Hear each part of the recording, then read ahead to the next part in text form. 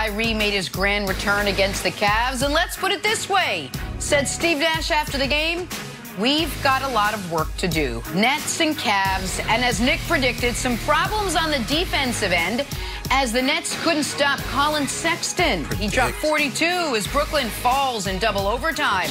Kyrie with 37 wasn't enough, though. Take a listen to this.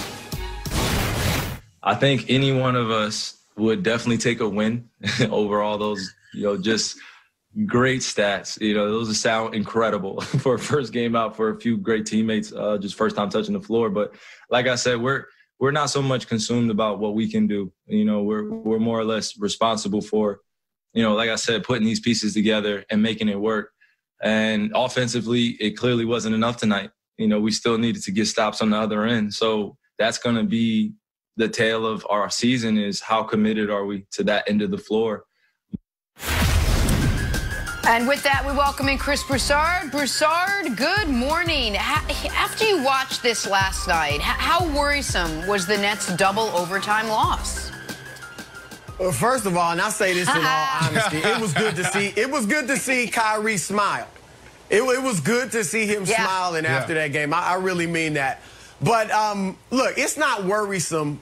Uh, it was actually quite predictable. You guys know I came on here yesterday and I talked about the Miami Heat as a reference point. 2010, the big three, LeBron, D Wade, Bosh coming together. Yep. 80 points in a loss in their first game together. And remember, they also started the season 9 and 8.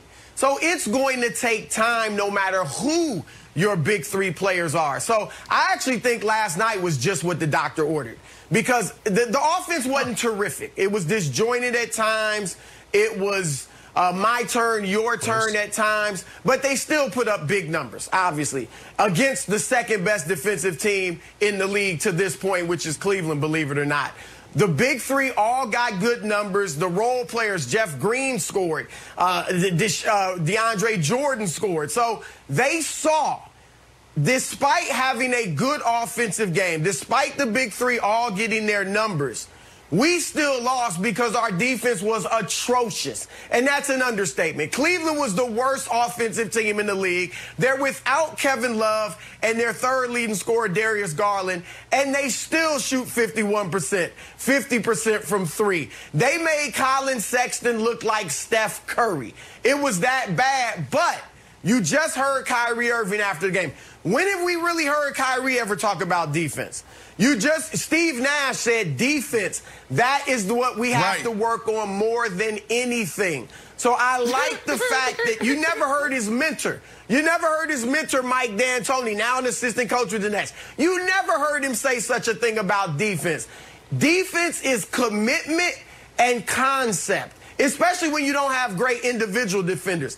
If the Nets are indeed committed to not being a failure, not being a failure in everyone's eyes, then they will focus on the defensive end, not get great there, but get good enough yeah. to win the East, yeah. which is all I've been saying. Uh-huh. Okay. Broussard's, the most interesting thing Broussard said there, and I hope it wasn't lost on the audience, is the Cleveland Cavaliers went into that basketball game the worst offense in the NBA. Dead last and they scored 147 points without their second and third best offensive players. So I do agree the first step to defeating a problem is admitting you have a problem, but then you must actually be able to defeat it. And the Nets do not have the personnel to defeat this problem. They, I'm sorry, you've got, you, you don't have, other than Durant, a single reliable defender. And they know it, which is why when Sexton was killing them at the end of the game, they let literally, if we run the Sexton highlights, what you'll see is every guy on the Nets gets a chance. And the make it take it Nets couldn't get a single noteworthy stop. And by the way, they also were, I mean, just watch Sexton kill them. And they also had three opportunities to stop the Cavs in the first overtime, up three points, and they failed all three times. That's some solid defense by Kyrie. Just give him a shot. I like it. And then so, hey, say, KD, I you mean, want a chance? That That's in your defense. eye, too. What do you want him to do? Oh, it was great defense. That was good right. defense. Okay, so Some wait, of that is good defense, Nick. Stop it. Oh, oh yeah, and this is good rebounding then. Good defense, good rebounding. They just score every time. it is great defense. Hey, That's good let's, defense. Let's give him Oh, it's great defense. Just a three made in his eye. That's all. No, it's great. They're fine, guys. They've got they've got four guys you can rely on. You have one defender you can rely on. The make it take it Nets are going to annihilate everyone at Drew League and at Rucker. Come the NBA playoffs, though, they're going to have some problems, Brandon. Going to have a bit of problems getting Jenna. getting to the finals. They're going to have problems getting to the Eastern Conference Finals. What's up, Brandon? Jenna, do me a favor. Do me a favor. Don't say that uh, Nick Mute. predicted this. This was not a prediction talking about the next de- the, the Nets defense. This was desperation. He know that that's the only thing he can hold on to for the next two months.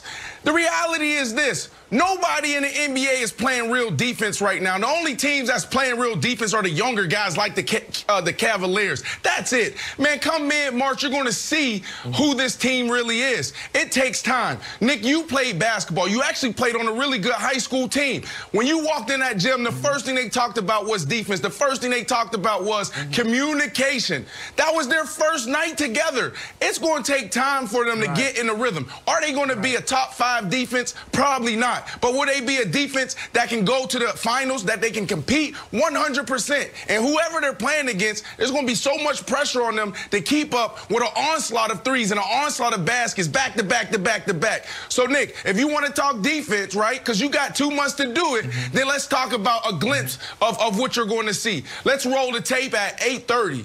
This is what you saw in the 4th mm-hmm. quarter. They went into the fourth quarter down by nine. Eight minutes, 30 seconds left. They're down by 13. Now the game is on the line. Mm-hmm. Now we know, okay, let's go play. We're all together. Everybody's watching us. Everybody's going to be talking about us. And what did we see? Stop after stop after stop. And then, it, and Kevin, right. the play that Nick's talking about, talking about, oh, Kyrie didn't play good defense. He just let the man shoot it. Man, Sexton had an all-time high in freaking efficiency. There was nothing he couldn't do. They Yeah. wasn't even supposed to go into double overtime. Okay, yeah, they shouldn't have. They should have won the game. Because not only is your defensive problem, that's the first game that I watched Broussard when I said, ooh, Steve Nash, rookie coach. You can start to see it flare up a little bit. Well, first of all, you're up three. You want to follow Collin Sexton? Nope, let him shoot one in Kyrie's eyes. All right, goes into overtime. I disagree with that, but I understand it's a philosophy. Now you're in double overtime, and Collin Sexton is cooking everybody. Do you want to call a timeout? You want to break the rhythm a little bit? You want to get some sugar-free Gatorade on the sideline? Now let's play through it. Let's have the game get out of hand. Easily. Two options. Blow a timeout, ask for a timeout, or do the old Jason Kidd. Throw some water on yourself, stop the clock. Whatever you need to do to break Collin Sexton's rhythm, give it a shot. The third thing is, while you're at the timeout drinking some sugar-free Gatorade, hey guys, anybody go, buddy. tired? Anybody need a breather? Because I played everybody for 50 minutes, even though I told Malika Andrews that I didn't want Kyrie to go over 40. So for those three reasons, I thought that. Steve Nash looked but Brandon, they went into double overtime already at the, pushing 40 minutes. So I thought Steve right. Nash was very disappointing performance when you could have won the game just by fouling Collin Sexton before he even got to double overtime.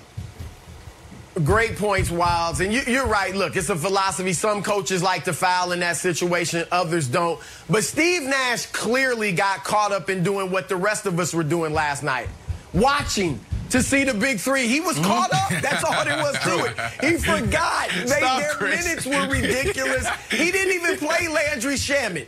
I don't know if Landry Shamet's in the doghouse or what, but Nash got caught up. He's got a lot to learn as well. Remember, too, th- this Nick, they've got three open roster spots. They've got the disabled player exception. They will bring Oh, in they were down- defensive-minded yes, That's veterans. right.